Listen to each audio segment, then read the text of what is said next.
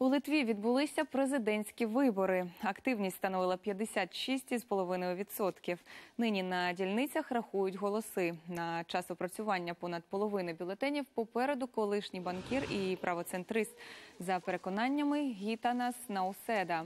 Серед його головних суперників нинішній прем'єр-міністр Литви, лівоцентрист Саулюс Скварняліс і консерваторка Інгріда Шимоніте, колишня міністр фінансів. Чинна президент Даля Грибаускайте не балотувалася, адже завершує другий п'ятирічний термін на посаді.